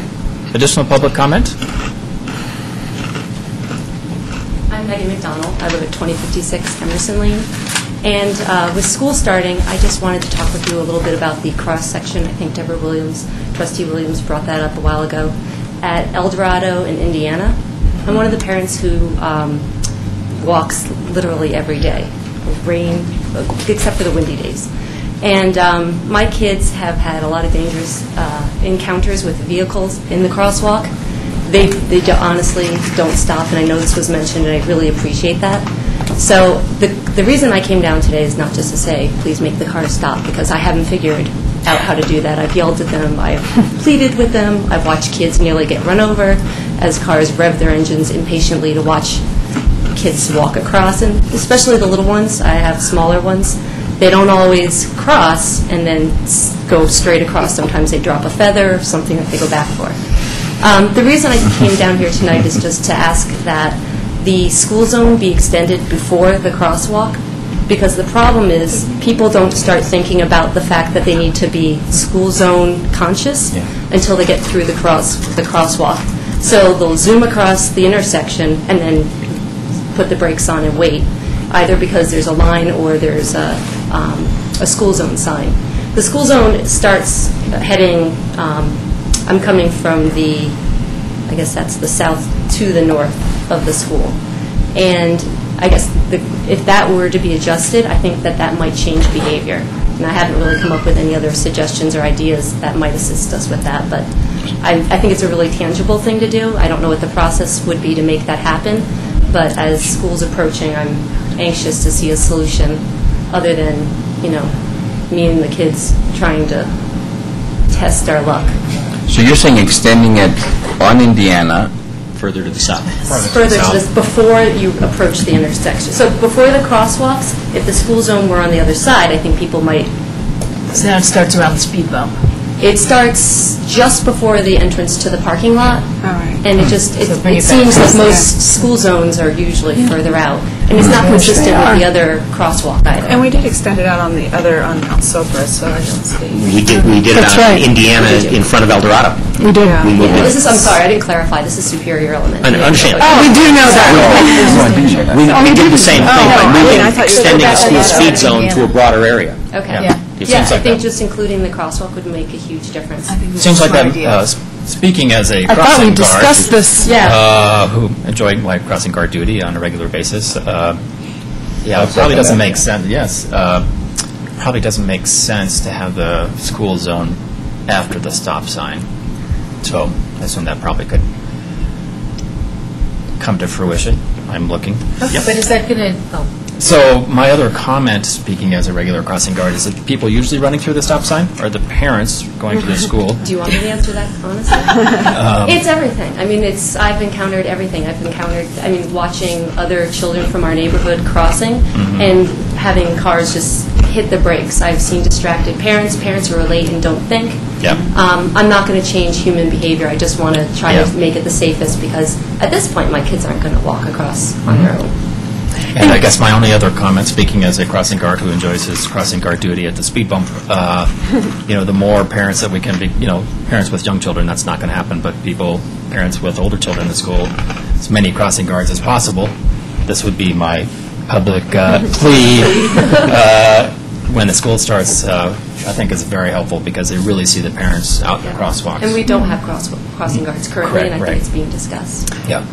And, Trustee uh, Sku- awesome. Trustee Skumatz? and then- yeah. so, in theory, I'm, I'm in favor of it. My only question is then, does that mean it also extends on Eldorado in both directions as well? Because if you're talking about cross, crosswalks, mm-hmm. there's mm-hmm. crosswalks mm-hmm. on four sides of that block. So are you talking about bringing school zones in from three, I'd three say sides? 90% of the problem is Indiana. Okay. I really, I mean, not that we don't encounter that, but I mean, truly, I, I think we walked five days maybe last, I mean, didn't walk five days last, last year due to wind. Um, You know, it's cold, you put on a jacket, but it's mostly on Indiana. In, on Indiana, on the north side, Right. how far does the school zone starts where? Like Rock Creek Parkway? Yeah, it goes around the corner and almost to that speed sign that flashes at you. It goes beyond. So it Rock Creek extends quite a bit on that side. Yes, it does. It does. goes Past the beyond tennis courts, past the swimming pool. It goes Yeah, past the yeah, around the intersection. corner. Right. Yep. It goes past the intersection. And, um, And and one, We've one easy fix. Yeah, easy fix, uh, and one ticket in a school zone where you have to, I believe, show up in court, maybe? Uh, That might have changed recently, but it's, uh, It That did was- change. That was my hope. It Yeah, did but- change, the, the uh, court appearance is no longer mandatory, but the fine schedule is still double for any uh, infractions within a, s- within a s- school zone. Yeah. And they're usually Gets rid of infractions on a daily basis. hearings is a good idea. Yeah. People get pulled over, whether on Rock Creek Parkway or just immediately on Indiana, on that side anyway. I don't know if it's enforced on the other side, the one you're To be talking about. honest, It's I've not. only seen. Not too it's often. on, uh, Yeah. Creek Park Yeah. there It's not. on I think they're- Day. Yeah. I think they're Trustee Williams. concentrating on speeding on Right. Rock Creek. Um, Actually, I brought this up on the, I was on the school improvement team, uh, the SIP committee over at Superior, and that was something that they brought up that I did bring forward, that we would talk about at a safety, tra- Transportation. yeah, Yeah, I think we exactly, need to have transportation and safety meeting. And um, I don't know if we have met since, but that was pretty much at the end of the school year. We haven't Um, met but- this. Anticipating with school starting next week, trying to get things done, so. But that was the number one thing that was brought up that they were hoping to look at with the city. So we can either have TSC look at this, or we can make a command decision. Staff can make a command decision, I suspect. Excellent idea, thank you I'm very seeing much. head nods, and Yeah. TSC has endorsed it, and we'll have it done before school starts. announced them over the sign, isn't it? I think so. Thank you. Yeah, thank you, All right, appreciate it. Thank you. Additional public comment on consent agenda and non-agenda items?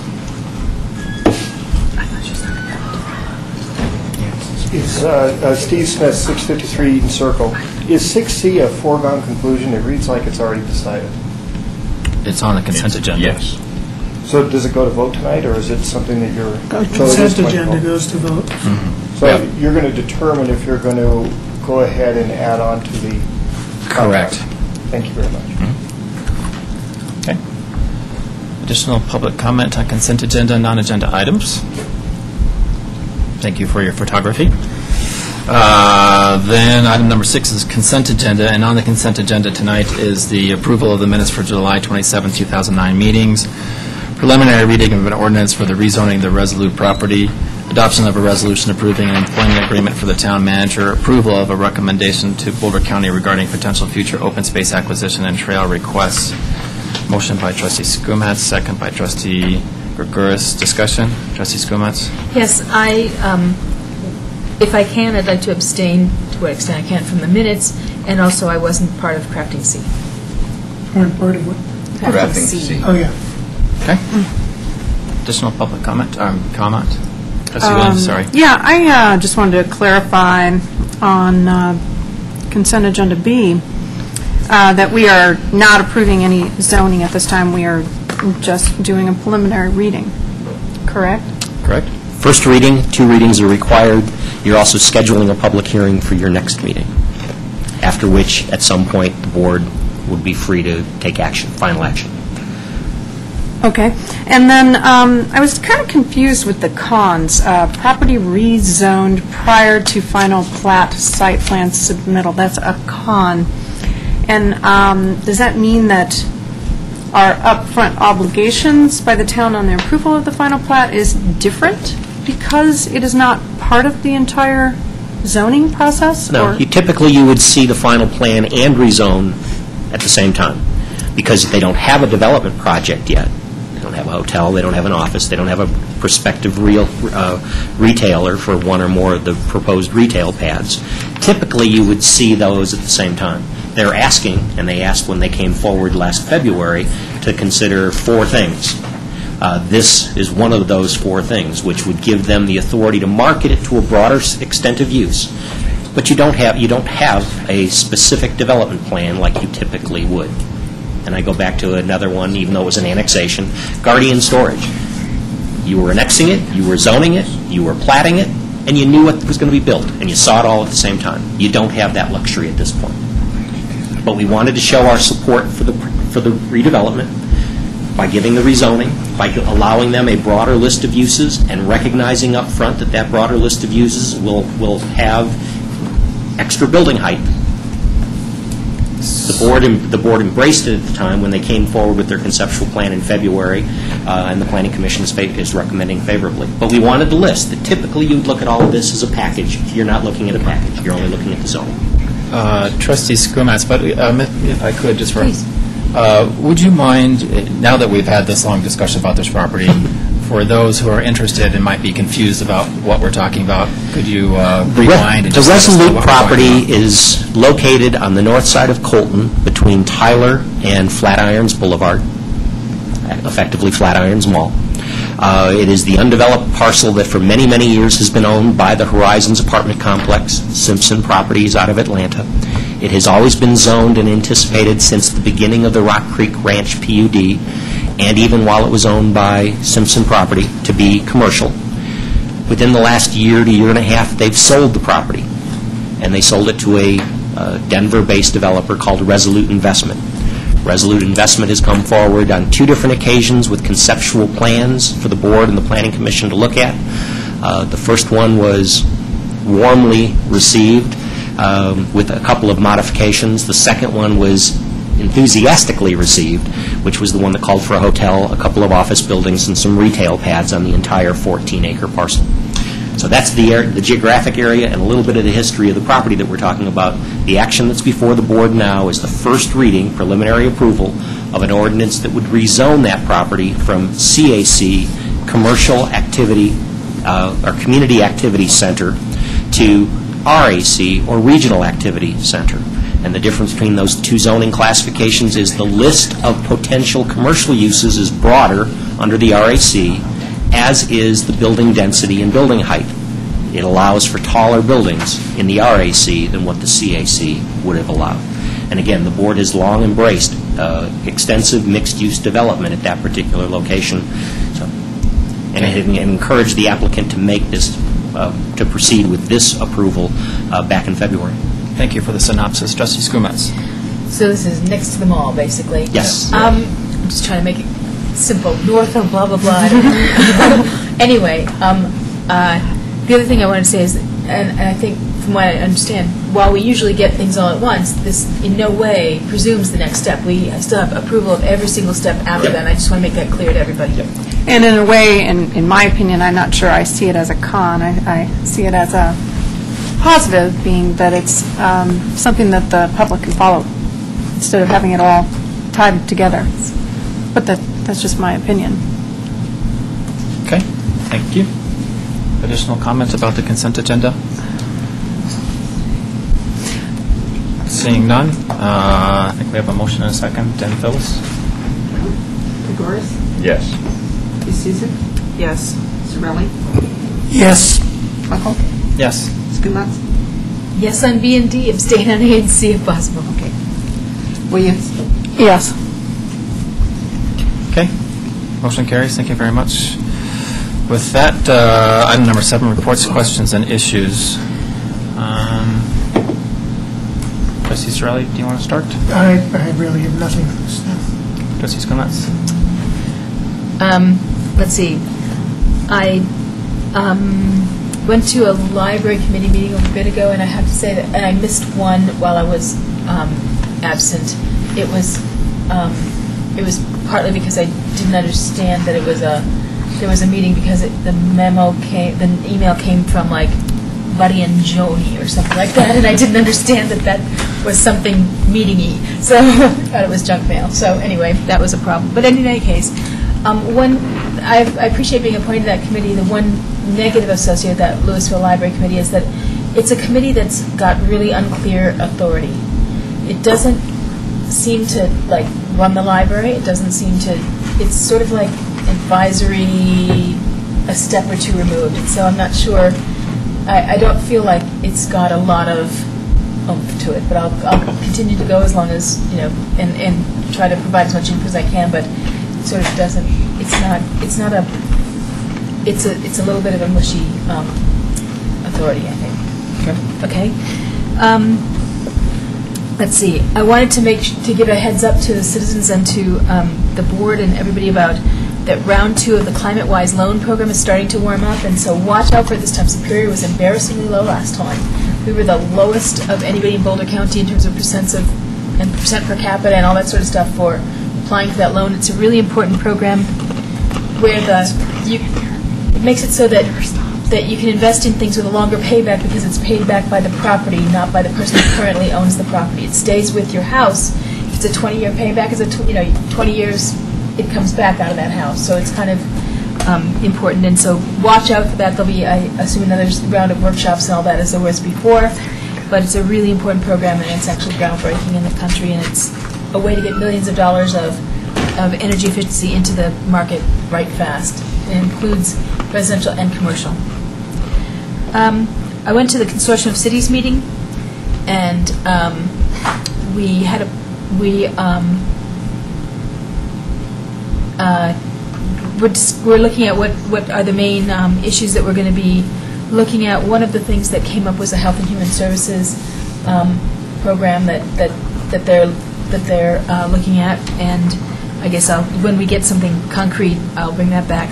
When we went around and had each of the communities talk, though, it was interesting to find that one or two of the communities were, that were having particular um, budget crunches were instituting what they were, or instituting what they're calling quality of life fees to cover things related to um, environmental stuff, uh, a whole host of, of things, and calling it a fee as opposed to other things that require more approval. That was interest. I'm not advocating. it, I'm just putting it out there as a, a item of interest. Had a coffee buzz this last weekend that didn't have a lot of attendees. I think it was a good camping weekend for everybody. um, and then um, I wanted to throw out one other thing, and that was oh, and and and I'm um, the I've heard really good reports about the Sierra Club energy efficiency workshops that, that were available to citizens, and so that was I'm really glad that those are moving forward. I'm happy we have the town participating. The last thing I want to mention is a little thing I'm going to throw out there. Want people to not not react yet, but think about. I'm very interested in getting Superior to have a little bit more. Um, you know, people still aren't. You know, you talk to people and they still don't know where Superior is and, and all that sort of thing. I'd like to have more of an identity. We're number 13, what do you mean? I know, isn't that great? It's great, but um, I, that's one of the reasons for that, that discussion about the library earlier. But the other thing I want to, people to consider is, what if we renamed our part of McCaslin Superior Boulevard? So about it. So that would we be- own it. We already have to, you know, maintain it. Why not? Yes, make it part of our identity. It doesn't. None, none of the buildings along there have to change addresses because nobody really has a McCaslin address. Maybe one building, but not much. So So that would be from 128th to the freeway? that's what I'm thinking. Mhm. Why not? I say. Next statement. That's an interesting thought. Anything else? I'm done. Uh, let's see, I'll go. Um, I was out of town, uh, missed uh, being in the town of Superior. You, seeing the uh, government geek that I am, I you know watch these CAC channels and the other towns that I were, was in, and uh, read the local government issues. That's bad on vacation. I know, that's, so I, I'm owning up to that.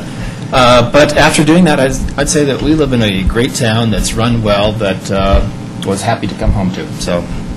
um, The only thing that I found that was, that perhaps we could do a little bit better that I saw was our Channel 8. They, uh, other places have maybe better use of that, they have more, we have a lot of information on there that's really hard to read, and um, so I think that we might be able to improve the quality of that. I'm not, I don't want to say anything bad about the people that have been working on it, but I think there's, they had interesting things like the, the temperature and the time and things, you know, just other, more, you know, I, I think a lot of people are probably not, after they've looked at it for 15 seconds, are probably done with our Channel 8, and anything that could engage uh, people in that um, a little bit more would be probably helpful. But that being said, I think that we definitely, uh, after seeing all these places around, uh, well, in Canada and around the rest of the country here, that uh, we live in number 13. And and as the manager said with a bullet, I think we're going for bigger and better things. So it's great to be back. Trustee D'Souza. Nothing to report. Okay. Trustee Gregorus. Uh, Just a couple of items, one question and one comment. As member of the uh, Safety and Transportation Committee, I would strongly be in favor of extending the, uh, um, School zone. I think so. I think it's fair. It's extended quite a bit on the other side, on the north side, so I think it's fair to extend it a little bit more on the south side. And from the uh, August 6th uh, Weekly Digest, I have a question about the item under Williams Estate. It says that a lawsuit was filed, and the town's defense is being provided by Travelers Insurance, our liability insurance carrier. What, lawsuit? I'm- I may have missed something. There was, I would encourage you to go back and look at a previous item on that issue. Okay. But there has been a lawsuit filed. Against the town? And um, not to be too, uh, well, let's see, how much of this is uh, Yeah, exactly. public? Well, the suit- Most, of- most the of... suit's public. most- The suit is public. The suit is public, so uh, can you describe briefly what it is, so it's not a... In 20, They're not words- in 20, in 20 words or less, the Yes. claim, the claim is that an insurance policy that the town promised and paid for was never paid on. And not that the town didn't pay. The town The paid, town's the town, obli- the town was obligated to provide continued life insurance. We provided that life insurance, paid the premiums for that life insurance.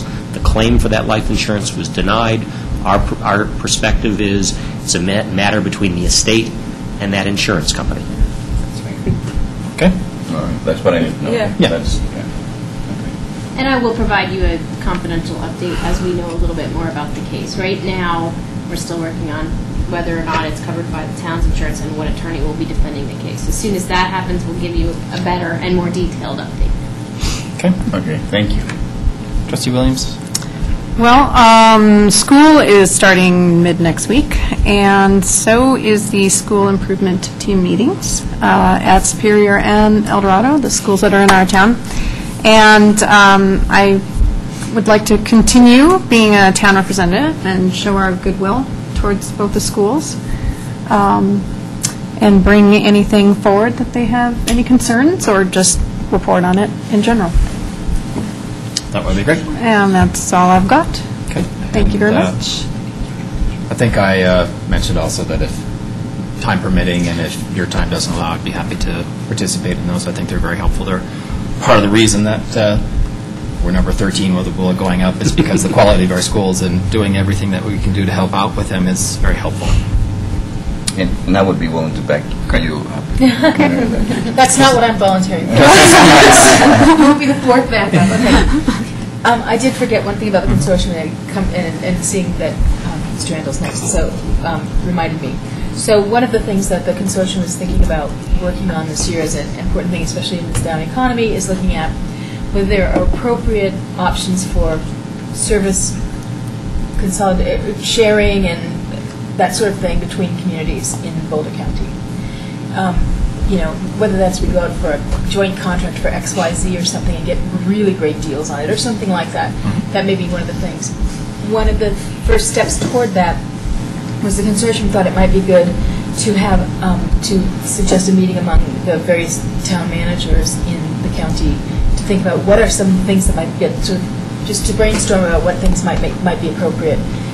If we're interested in having our town manager spend a little bit of time attending one of those meetings, that's what I was sort of looking for a head nod, and um, that's, I forgot to mention that.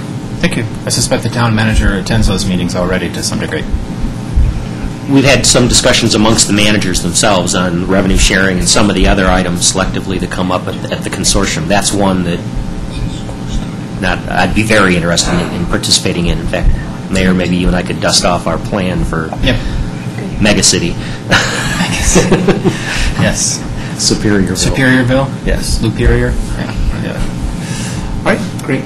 Interesting concept. Mr. Randall? Very briefly. Um, First, kudos to the to the Boulder County Sheriff's Department for an extraordinary event last Tuesday night, uh, Superior's inaugural effort at participating in the National Light Out- Night Out program. Uh, I was concerned because of the last-minute nature of it. It was incredibly well-attended, not quite as as large as Chili Fest or some of our other events, but for a first-time effort and recognizing that it was geared towards uh, neighborhood crime prevention and the like, uh, an an extraordinary turnout, and kudos again to everybody that was involved in it. Uh, We are continuing to solicit interested volunteers for the board's home rule task force. Uh, We've got some letters that have gone out for people that have been suggested to see if they have any interest in it. Uh, It'll be mentioned in the September issue of the newsletter. I do anticipate bringing it before the board um, for appointments to that particular task force at at your first meeting in September. Um, The web page task force, which is, was being driven by staff, uh, has at least four members already. Unfortunately, because of school vacations, we haven't been able to convene the first meeting. We do anticipate that it'll, it'll be held the 1st of September. Um, But trustee Williams, trustee Rosenfeld, and Mr. Halverson from the uh, HOA have volunteered to participate on it. Uh, Probably have received information about the pool, uh, pool's schedules being modified as of Monday with the opening, reopening of schools. And at long last, our newest restaurant has opened. Today was their first official day. I understand that they had a soft opening as, re- as early as Friday, but without any fanfare. Today was actually their first day uh, of business. And that, And that's and that located- business Rock? Creek Pizza and Dough, filling the old space uh, previously occupied by Serrano's. Uh, And my only suggestion to them, which I think they've taken, was feed the parents of the Mustangs as they're sitting in the bleachers, because that's a huge constituency in the coming months. Uh, But hopefully, they'll be taking it up, and hopefully, they'll be as successful as the Colorado Walk has been in that space that they've recently reoccupied. That's all I have. And part of our uh, business retention plan, we like to welcome those businesses into our community as part of our newsletter. They will be in. Yep. In the September issue. Ms. Carberry? I don't have anything, thank you. Ms. Harden? I don't have anything. All right. Could I a- ask, yeah, Oh, one yeah, more thing trustee that Burns. trustee D'Souza and I were thinking about, to have a transportation safety meeting again? Committee meeting, uh, it- we took the summer off, but now with school starting again, might be a good idea to have it maybe on the 24th. Um, So we usually do it before the work session, so maybe five, I'll see if, avail- if people are available. five o'clock or, We'll have our new public works director on Right, board exactly. for at least Because- one week. Okay. so it'll be good to meet him and share some of our concerns with him and.